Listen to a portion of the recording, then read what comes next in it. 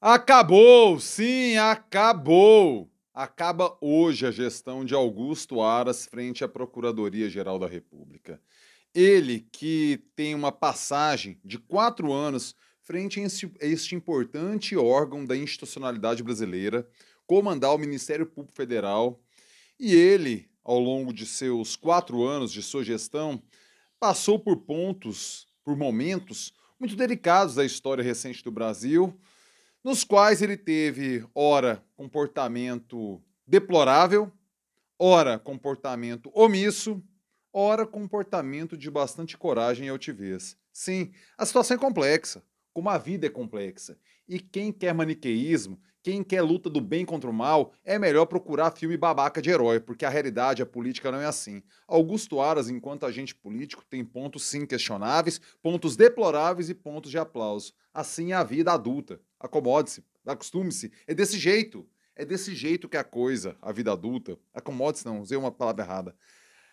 Entenda, compreenda. É a forma mais correta de falar sobre a vida adulta.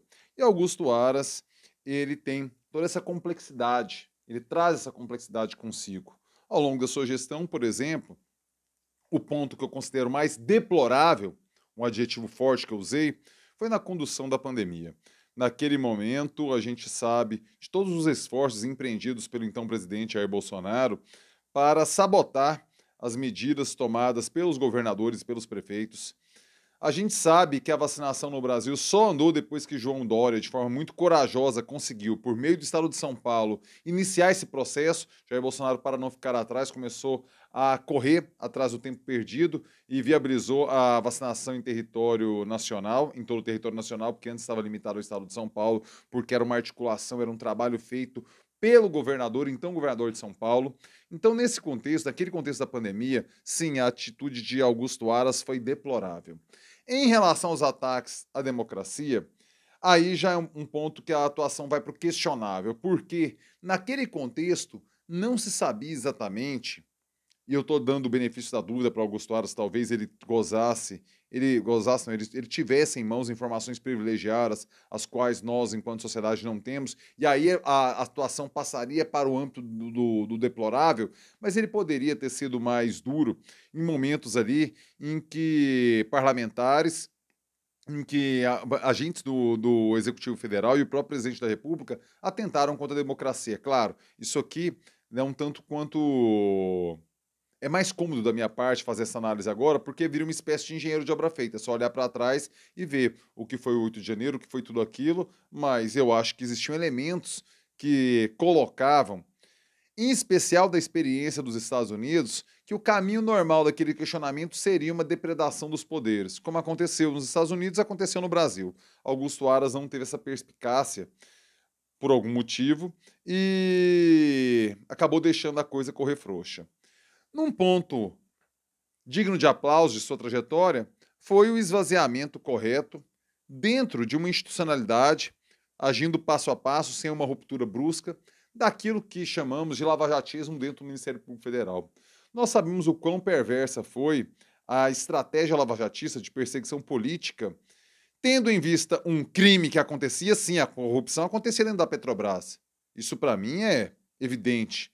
Contudo, a forma como os procuradores tocaram trabalho, capitaneados pelo ministro da Justiça Federal, o então ministro Sérgio Moro, ministro, ó, o então juiz, depois ministro, agora senador, mas o então juiz da Justiça Federal, Sérgio Moro, a forma como os procuradores tocaram a Lava Jato foi nefasta para a institucionalidade brasileira. Nesse sentido, Aras, Augusto Aras, agiu de forma bastante correta, elogiável, naquilo que foi o desmonte dessa operação que se revelou um câncer. A Lava Jato, sim, ela se revelou um câncer para o Brasil, para a institucionalidade e quase por um triz a Lava Jato nos levou a derrocar a democracia com um golpe fascista que foi tentado. Porque sim, Jair Bolsonaro é herdeiro direto do trabalho da Lava Jato. Então Augusto Aras abraça toda essa complexidade de pontos questionáveis, deploráveis e elogiáveis. Mas agora a gente já olha para amanhã. Quem vai assumir essa cadeira de extrema relevância, uma cadeira que é considerada um ponto nevrálgico da institucionalidade do Brasil. Agora, quem será o indicado pelo governo Lula para ser o, no o novo Procurador-Geral da República?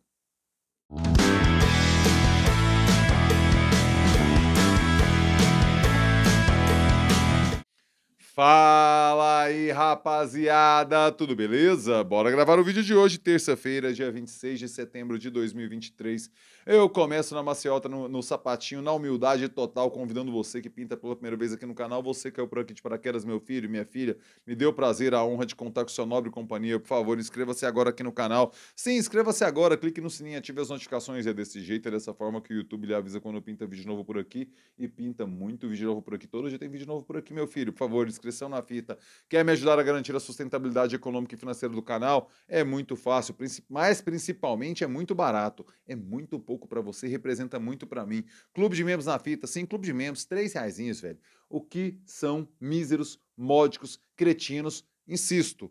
Muito pouco para você, três reaisinhos, mas que representam muito para mim. Entrei no clube de membros, cara, é importante demais para que o YouTube reconheça você entrando, se transformando em sócio torcedor do trampo aqui do, do canal.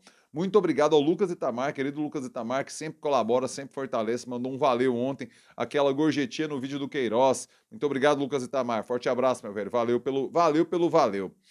Bora agora falar do outro pilar importantíssimo da defesa do jornalismo independente feita aqui no YouTube, as empresas que patrocinam, que apoiam, que investem, que colaboram com o jornalismo independente feito aqui no YouTube. Seja você também uma delas, a patrocínio aqui, ó, mande um e-mail aqui e vamos fechar um patrocínio aqui no canal, porque isso é importante demais. Este vídeo de hoje é patrocinado pela Interset Tecnologia. A Interset é inteligência artificial e soluções de ponta para aumentar a lucratividade do seu negócio. Você vai ganhar mais dinheiro com inteligência artificial. O recado da Interset está lá no final do vídeo. Confere lá, por favor. Bora voltar à questão do Augusto Aras. O site Poder 360 fez aqui uma prestação de contas, perdão, colocou assim em números detalhados quantas denúncias foram apresentadas, quantos inquéritos instaurados, quantos processos relacionados à Covid, quantas manifestações junto ao TCE a gestão de Aras nesses quatro anos teve e está colado aqui embaixo. A gente tem que avaliar como que o Aras chega, como que ele tenta, sim, ele, ele articulou publicamente por meio do seu Twitter a permanência por mais dois anos. A recondução é infinita, viu? Enquanto o presidente reconduzir, tá tudo certo. Não, não, não tem teto para o cara ser procurador-geral da República. O presidente indica, o Senado endossa, e aí a pessoa fica dois anos, podendo ser conduzida ad eterno. Augusto Aras tentou sua recondução. Como é que funciona isso? A gente tem, desde a redemocratização, essa tentativa do, da corporação, do, dos procuradores federais, de elaborar uma lista tríplice de sugestão para o Procurador-Geral da República, para o cargo de Procurador-Geral da República. Fernando Henrique Cardoso sempre ignorou isso aí. O Brindeiro foi o, o, procurador dele e que era chamado por nós da imprensa. Naquele momento eu não trabalhava na imprensa ainda, somente nos dois últimos anos. Eu começo a trabalhar no jornalismo no ano 2000, quando eu estava na faculdade. Então, eu me recordo que se chamava, a gente chamava eles, nós da imprensa, de engavetador geral da República. Era o termo usado junto ao Brindeiro. Depois, a partir do governo Lula, começa-se, cria-se a tradição totalmente informal, mas o, o, PT, por ser um partido oriundo dos sindicatos, ou seja, vem de organizações de corporações, ou seja, co é, corporativistas, ah, e o que é, se não uma indicação de uma corporação para aquele cargo, para a própria chefia. O PT começou a catar essa, a indicação do, do mais votado da lista tríplice. Isso nos levou Uh, levou, inegavelmente, a um empoderamento dessa corporação que resultou na Lava Jato. Eles achavam que era favas contadas, não precisava mais preocupar com isso, que estava tudo certo. Temer já começou a mudar isso depois da, da tragédia lavajatista, que foi, ele pegou um dos nomes, os três indicados, não o mais, uh, o mais votado, que no caso, quem foi indicado pelo Temer foi Raquel Landim, vocês se recordam. Raquel Doge, perdão, Raquel Landim é jornalista, Raquel Doge. A Raquel Doge foi indicada por Michel Temer. Entra o governo Bolsonaro, ele não reconduz Raquel Doge e pega Augusto Aras, independente da lista. Ou seja, Jair Bolsonaro é quem rompe aquela tradição, que se mostrou sim um equívoco, equivocada, de pegar os três nomes da, da lista. Um dos três nomes, ou mais votado dos três nomes. Augusto Aras, ele permaneceu no governo Bolsonaro. Quando Bolsonaro perde a eleição, Lula assume, ele também muda de postura, ele começa a ressaltar mais o seu lado de lealdade, suposta lealdade, quem não se recorda aquele discurso dele, democracia, eu te amo, te amo, te amo, democracia, e também sua, o seu papel junto à Lava Jato, junto a, ao desmantelamento, necessário desmantelamento da, desmantelamento da, da Lava Jato tentando uma nova recondução. Isso não foi bem aceito pelo PT, a exceção do PT da Bahia, o forte PT baiano, lembrar que a Bahia hoje é um dos pilares do Partido dos Trabalhadores em âmbito estadual. Então, nesse sentido, Augusto Aras teve um endosso ali de uma parte importante do PT, mas insuficiente para bancá-lo. Hoje, na disputa, encontram-se dois nomes, um mais simpático junto ao, a ministros que ganharam relevância junto a Lula, que são Alexandre de Moraes e Gilmar Mendes, o Gonê, Uh, é a, a, pessoa que, em, que, em que Alexandre de Moraes e Gilmar Mendes depositam suas fichas. Por outro lado, Bigonha é o nome que o Partido dos Trabalhadores trabalha para que seja indicado ao PGR. Isso deve acontecer nos próximos dias. A, a cadeira não fica vaga, né? Ela é ocupada pela procuradora substituta, uma procuradora que, inclusive, já elogiou o trabalho de Moro da Lava Jato. Ela quem vai sentar na cadeira do Aras até o Lula indicar. Depois da indicação do Lula, é preciso que o Senado ratifique esse nome. Isso ah, ah, é ruim? Olha, não necessariamente, porque só Gonê Branco e Antônio Bigonha, só para deixar claro aqui o, os nomes deles, né? Então, o Paulo Gonê Branco é que é bancado pelo Gilmar Mendes e pelo Alexandre de Moraes, e o Antônio Carlos Bigonha é bancado pelo, pelo Partido dos Trabalhadores. O que acontece? É, normalmente, até fazer essa indicação, o presidente, o presidente vai, já, já vai negociando junto com os senadores. Isso vai acontecendo tudo ao mesmo tempo. Por quê? Fazendo esse acordo político, evita-se um desgaste de apresentar o nome e ele ser vetado pelo Senado. Então, esse, essa articulação já é feita pelo procurador ali, vai acontecendo tudo ao mesmo tempo. Eles vão se articulando junto aos ministros, perdão, junto aos senadores, e aí o, o, o, o Senado, quando chega para votar, já tem mais ou menos encaminhado que aquele nome será aprovado. Eliseta Ramos, que é o nome. Eliseta Ramos é o nome que vai assumir interinamente a, a PGR até a indicação e a aprovação do Senado. Vamos colocar aqui oito pontos que o, que o, que o jornal Globo listou como marcantes da passagem de Aras pela PGR. O alinhamento ao Bolsonaro foi o primeiro. Lavajatismo há de passar, ou seja, a sua atuação pela pelo isolamento e depois pela desconstituição da Operação Lava Jato. Terceiro ponto que o jornal o Globo destacou. Quando ele entrou na disputa pelo STF, ali naquele momento que André Mendonça foi indicado, e aí ele tomou uma geladeira tremenda do Senado Federal, em particular de Davi Alcolumbre, Augusto Aras tentou ali ser indicado para o SGR. Outro ponto, ele começou as investigações dentro da própria PGR, o que também foi questionado ali durante a pandemia por outras pessoas. Ele processou o professor da USP, Conrado Ubner, que eu acho que é um dos textos mais críticos ao Supremo Tribunal Federal e à, Procuradoria-Geral da República. Ele moveu um professor, moveu um processo contra esse professor por chamá-lo de poste-geral da República. Ele quase saiu no tapa com um procurador da República, no caso, numa reunião que estava acontecendo no MPF, o, o Aras levantou, colocou o dedo em riste para, para o procurador Nível de Freitas e levantou para descer o cacete no cara. Só que a pessoa apartou. E o discurso democracia, eu te amo, sabe? Além da, da promoção da subprocuradora bolsonarista, a Lindora Araújo, muito próxima a Flávio Bolsonaro. Esse é o oitavo ponto que o jornal o Globo lista. Também a matéria está colada aqui, tanto no Poder 360 quanto do Globo, para você ler. Então você vê que é uma gestão com pontos elogiáveis, pontos questionáveis, como coloquei no início do vídeo, pontos deploráveis, mas que nos levam a um novo, a tentativa de construir um novo modelo, já que aquele modelo do engavetador geral da República, do Fernando Henrique Cardoso, não funcionou. O aceite, a lista tríplice do Ministério Público, dos, do, dos procuradores, também não funcionou. E agora a gente tem essa tentativa de buscar um nome nos quadros do Ministério Público que estejam alinhados politicamente ao presidente da República e também ao Senado Federal. Vamos ver o que isso nos reserva. Eu acho que um ponto que a gente poderia pensar seria a impossibilidade do PGR para aumentar a autonomia, para evitar o fenômeno Aras, que se alinha primeiro ao Bolsonaro, depois tenta se alinhar a Lula, visando a sua indicação ao Supremo Tribunal Federal ou à PGR, colocar o cargo de PGR, primeiro, uma proibição de recondução. Poderia se estender isso por três anos, o, mandato do, do Procurador-Geral da República, mas sem a possibilidade de recondução.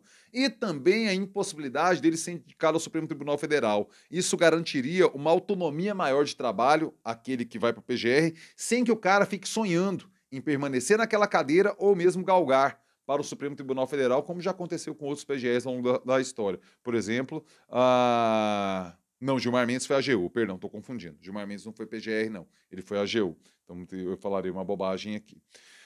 Essa seria a minha sugestão para que a gente tivesse mais independência da pessoa colocada no cargo, com um mandato um pouco maior de três anos e evitando que evitando o alinhamento que, que a pessoa queira ser reconduzida ou então ir para o Supremo Tribunal Federal. Mas eu quero saber a sua opinião. Comentário aqui embaixo. Diga-me o que você acha, diga-me o que você pensa. Por favor, comentário na, embaixo, aqui embaixo. Chegou até aqui, like, meu filho. Joinha esperto, joinha que fortalece, joinha que faz o vídeo chegar mais longe. Deixa agora o seu like, meu filho. Quer me ajudar a garantir a sustentabilidade econômica e financeira do canal? Já falei do clube de membros lá atrás, entre você também para o clube de membros. Faça como o querido Lucas Itamar e mande o seu valeu Pay, gorjetinha na veia, gorjetinha na fita, valeu, por favor, e tem também o Pix. O Pix é pablocossa.gmail.com. Pix, Pix, Pix, Pix, Pix, Pix, Pix. Opa, bati no microfone. Mande seu Pix e fortaleça o trabalho do jornalista precarizado, uberizado do Brasil, meu filho. Por favor, Pix na fita. Bom, uma ótima terça-feira para você. Fique agora com o recado da Interset Tecnologia e termino com o clássico. É nós. Eu quero apresentar hoje para você a Interset Tecnologia, que é uma empresa fundada em 2010 cujo foco é fornecer soluções avançadas para otimizar processos, aumentar a eficiência e agregar valor para você, cliente. É inteligência artificial para melhorar o seu negócio, meu filho. Por exemplo, para quem é do agro, a empresa oferece soluções para otimizar o trabalho, aumentar a produtividade, diminuir perdas e garantir maior lucratividade. A mesma coisa vale para quem mexe com maquinário pesado, que demanda muita energia elétrica. A Interset cria a solução tecnológica perfeita com cálculos precisos para dimensionamento e análise, garantindo projetos seguros e eficientes para você. Os caras também prestam serviços em TI com profissionais qualificados que fornecem suporte técnico, dão consultoria e desenvolvem sistemas personalizados para você. E o principal, se liga, a Interset desenvolve inteligência artificial para o seu negócio. Vamos supor que você trabalha em uma indústria e não tem a menor ideia de qual é a vida útil de cada peça do maquinário, por exemplo. Se algo ali pifa, você tem um problemaço em mãos, tem que parar tudo, é um baita prejuízo e tudo mais. Pois é, a Interset pode criar um, um, mecanismo de inteligência artificial para monitorar o desgaste do equipamento para uma manutenção mais precisa, sem desperdício de vida útil e também diminuindo as chances de interrupção do processo industrial. Olha só que vantagem! Os contatos dos caras estão listados aqui embaixo. Peça um orçamento e confira. Interset Tecnologia é inteligência artificial e soluções de ponta para o seu negócio, minha filha.